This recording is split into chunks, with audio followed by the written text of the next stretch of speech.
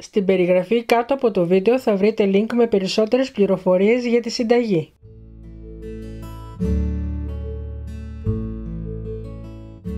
Βάζουμε τη ζάχαρη μαζί με το νερό να βράσουν.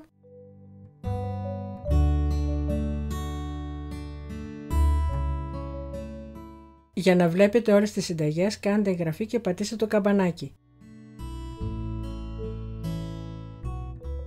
Αφήνουμε 5 λεπτά από τη στιγμή που θα αρχίσει να κοχλάζει, κατεβάζουμε από τη φωτιά και αρωματίζουμε με τις βανίλιες.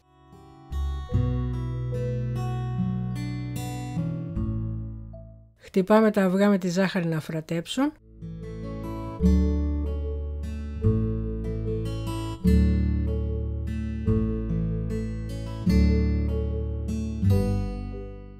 Προσθέτουμε το σπορέλο και συνεχίζουμε το ανακάτεμα.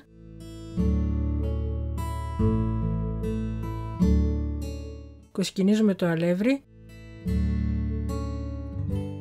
Μαζί με το μπέικιν. Τις βανίλιες και να κατέβουμε να γίνει η ζύμη.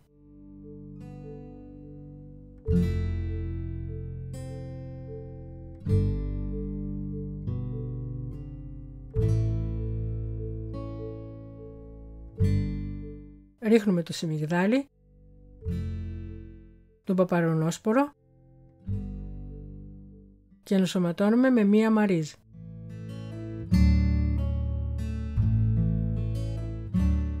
Το απλώνουμε σε βουτυρωμένο και λευρωμένο ταψί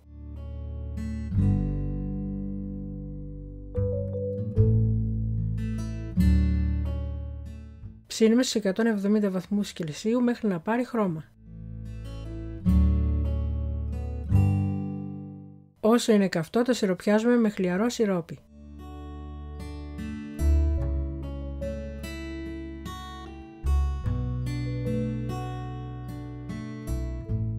Όταν κρυώσει απλώνουμε την κρέμα γάλακτος που έχουμε χτυπήσει σαν τη γη.